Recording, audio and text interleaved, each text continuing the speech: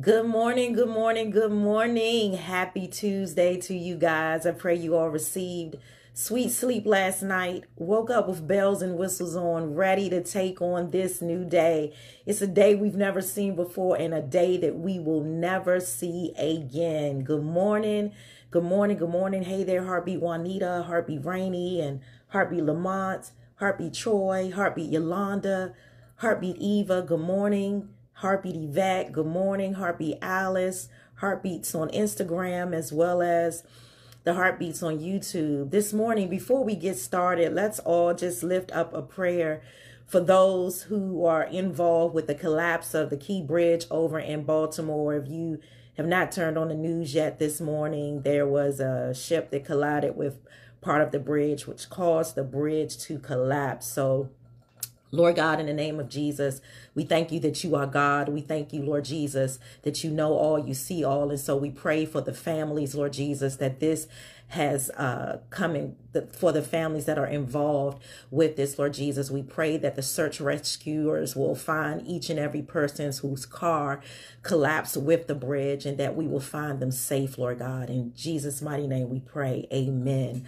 Um, so yeah, throughout the day, just make sure that you guys keep um, praying about that. I was trying to see what was the latest update um, on it before I came live. Um, they did say they had rescued two people, um, but they were still seeing cars uh, starting to, you know, float up on the top. So let's just pray. They believe that it was seven cars that went down when the bridge went down. So keep that in your prayer on this morning. But Good morning, good morning, good morning. Welcome to the Gathering of Hearts on this morning. I am Regina Banks, your GPS to Wholeness, aka I'm the Heart Gatherer. And this morning, your daily dosage is a continuation of yesterday, the Divine Artistry of God, Part 2 the divine artistry of God part two. So we opened up um, yesterday talking about Ephesians 2.10, that we are God's own workmanship, his handiwork, you know, like we are his um, masterpiece and that everything in our lives is orchestrated. It's divine, that it has a designated moment, that he has placed us on a path to do his good works. And so today we'll continue on in that, talking about his divine artistry and being as though today is Holy Tuesday. You know, this is the Holy Week, the most important week on a Christian's calendar. And today is Holy Tuesday. Today would be the day if we are following or walking along with Christ up to the cross. Today would be the day when he was ambushed and they tried to, you know, take uh, Jesus, but they weren't able to. Why? Because of the divine artistry of God. It wasn't time yet. He still had some way to go on this path to the cross. And so it's just amazing that not only looking at our own lives, but we can look back as we follow Christ this week, how God's hand has always been in everything, that it is the divine artistry of God that we do what we do. And so let's look at Jeremiah 29 11 today, and I'll be reading it out of the voice translation. It says, For I know the plans I have for you, says the eternal plans for peace, not evil, to give you a future and hope. And then it ends like this it says, Never forget that. I want to read that again because you know tra- different translations say it say it differently, but I want you to get this. It says, "For I know the plans I have for you," says the Eternal, plans for peace, not evil, to give you a future and hope. Never forget that. And these are words to actually to live by, to never forget the plan that God has for your life, that it's a plan of peace, that we ought to always be operating in peace, that that is the plan that God has for our lives. Not evil, but peace to give you a future, to always give you hope. And then he says, never forget that regardless of what you may be encountering in your life as I am speaking, never forget that the plan that God has for you includes peace. It does not include anything evil, but it, it includes giving you a hope, giving you future. And so here, the children of Israel um, have been taken into exile by Nebuchadnezzar to Babylon um, from Jerusalem. And Jeremiah, he sends a word. He says this pretty much, he's saying, you know, make peace with where you are. He says, build houses, you know, move, um, uh, make homes for yourselves, begin to intermingle with the people where you are. He says this because you're going to be there for a minute. You know, sometimes when things are going on in our lives, we want to get right out of it, right? Nobody wants to deal with agony. Nobody wants to deal with disappointment disappointment. That's normal, right? And we'll pray about it. But sometimes God does not send breakthrough right away. So Jeremiah is saying, listen, you guys are going to be there for a minute. So you might as well get to know where you are. You might as well dwell with those that you are, you know, with. He says, interact with them, marry them, have children, begin to, to multiply, pursue peace and welfare of where you are, of where I sent you. He says this, he says, pray on its behalf to me. For if you begin to pray to me on its behalf, he says, then I will make peace for you where you are. Um, you will have peace for whatever it is that you are praying for. Then he says this. He says, watch out for the false prophets because I didn't send them they are lying in my name. They're not telling the truth. They're giving you a false message. You know, sometimes when we're going through things, we're just looking for an answer. We're looking for a word from God. And because if you're not, you know, connected to the vine, if you are more in your situation than you are with God, you'll receive whatever a false prophet may be saying. Why? Because it sounds good. It gives you hope. But he says, wait a minute, look out now for the false prophets because they are lying in my name. It ain't true what they are telling you. He says, listen to the word that I have sent you. Thank you, Harpy Sherry, for the stars. Appreciate your support. He says this, you want the truth? Here it is. Here's the truth. You gonna be there for 70 years. Here's the truth. But remember what I said to you. Remember that I that that what I, I said, that I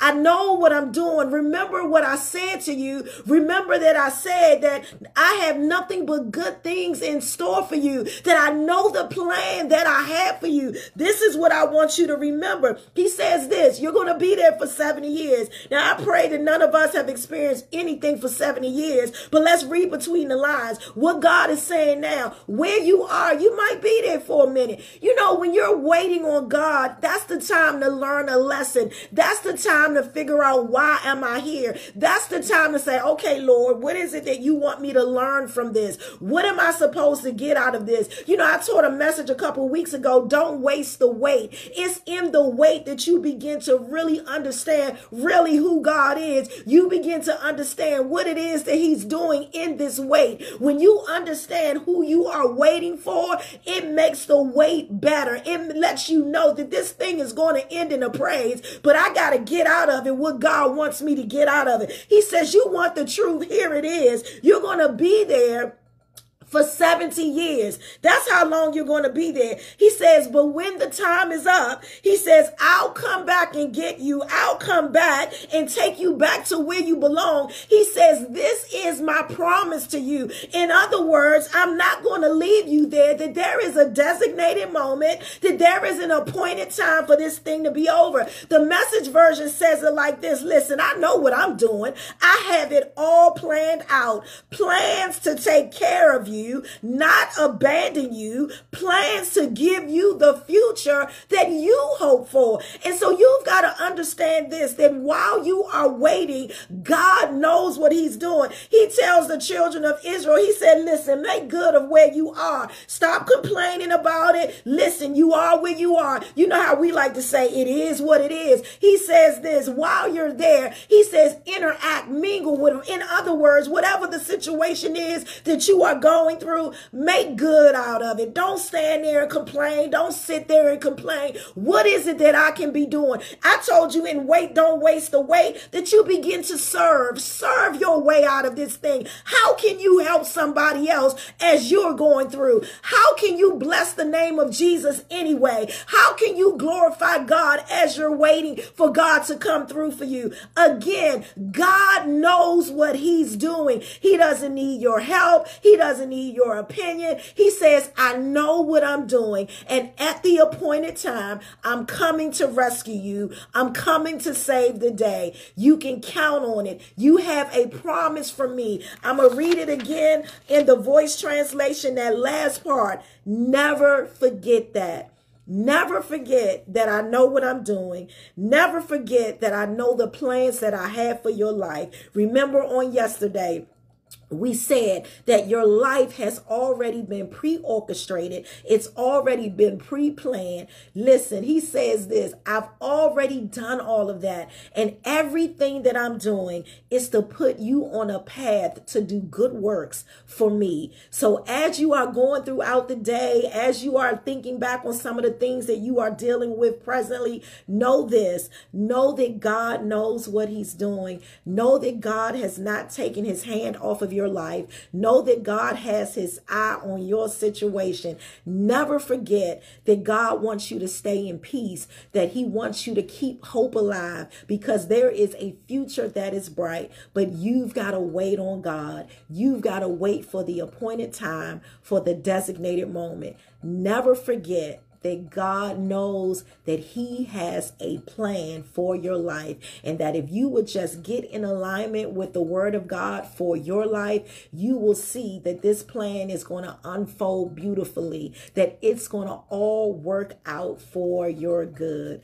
Hey, listen, that's the daily dosage for today the Divine Artistry of God Part 2. If you have not subscribed to the YouTube channel already, please do so because there you can find all of your dosages in one place. Follow me on social media platforms, God Wants Me Whole. Visit the website, godwantsmewhole.org. You know how we do this thing. Come on, let's say it together. Say, God wants me whole and I am. Again, I'm Regina Banks, your GPS to wholeness, aka I'm the heart gatherer. I love you guys a bunch. Go out there, have a speck while amazing day. Look out for falling blessings because they are falling all around you. And don't forget, please, please, please continue to pray for all of those that were involved in the collapse of the Key Bridge on this morning. They need our prayers, and prayer changes things. Amen. Again, love you guys a bunch. We'll pick this up tomorrow morning as we continue on in the divine artistry of God. Love you guys.